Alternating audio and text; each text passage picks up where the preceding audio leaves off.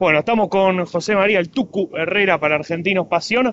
Tucu, te pregunto, ¿qué es lo que cobró? ¿Por qué te sacó amarilla los 5 segundos que entraste en el banco? Hola, buenas noches. No, la verdad que no sé, no, no es entendible lo que me sacó, pero bueno, hay que seguir y, y bueno, como te dije recién hay que seguir para adelante.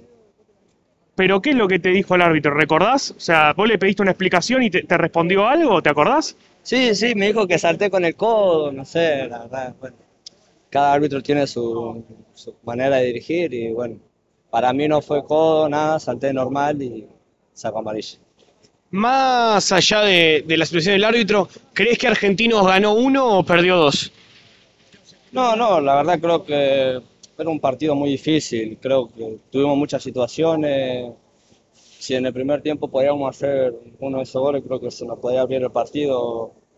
Para mí fue, fue difícil, un partido difícil, era partido que Arsenal sabemos que se hacen fuerte una vez y bueno, con el gol de ellos pudieron, pudieron levantar y, y bueno, gracias a Dios tuvimos la última al final y pudimos empatar el partido.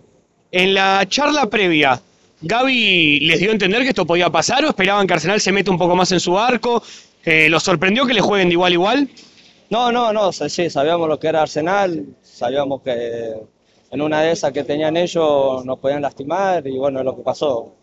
Pero con- como supimos manejar el partido, lo peleamos hasta el final y pudimos empatarlo al último minuto. La última, ¿crees que la suerte no estuvo del lado argentino tampoco en esta noche? Y un poquito, un poquito no nos ayudó esta vez, pero bueno, no importa, hay que seguir jugando y, y siempre vamos a ir para adelante.